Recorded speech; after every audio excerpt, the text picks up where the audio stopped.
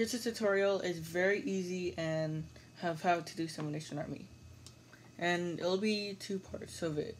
So one, um, this one's gonna be the beginner version, and yeah, here you go.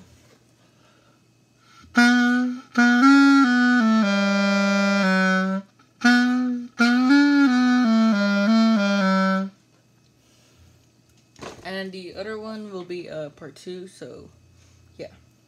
That's the beginner tutorial. I'll teach y'all the low part, part of the Seven Nation Army, this one. Of that one, um, next part, so yeah.